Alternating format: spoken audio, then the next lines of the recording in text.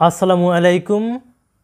অষ্টম শ্রেণির শিক্ষার্থী বন্ধুরা, তোমাদেরকে ইজি লার্নিংয়ের পক্ষ থেকে স্বাগত জানাই।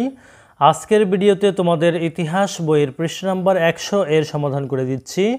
তোমাদের এখানে পৃষ্ঠা নাম্বার একশো এ বলেছে যে, দলগত কাজ দুয়ে লক্ষ্য করো। এখানে বলেছে যে, এখন আমরা দলগতভাবে আলোচনা করে নিচের তালিকাটি পূরণ করি।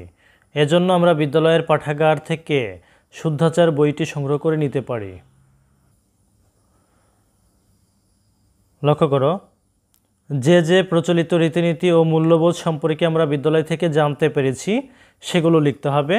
তো চলো, এখন আমরা একটি নমুনা উত্তর দিয়ে এই, এটার সমাধান করে ফেলি। উত্তর, যে যে প্রচলিত রীতিনীতি ও মূল্যবোধ সম্পর্কে আমরা বিদ্যালয় থেকে জানতে পেরেছি, এক জাতীয় সংগীত পরিবেশনার সময় দাঁড়িয়ে যাওয়া। দুই, ক্লাসে শিক্ষক শিক্ষিকা প্রবেশ এবং ক্লাস থেকে বের হওয়ার সময় দাঁড়িয়ে সম্মান প্রদর্শন করা। তিন, সহপাঠীদের মন্তব্যকে সম্মান করা। চার, জাতীয় পতাকাকে শ্রদ্ধা করা।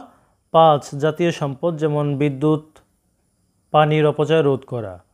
তো প্রিয় শিক্ষার্থী বন্ধুরা, যদি ভিডিওটি ভালো লাগে, অবশ্যই শেয়ার করে দিবে। ধন্যবাদ সবাইকে সাথে থাকার জন্য।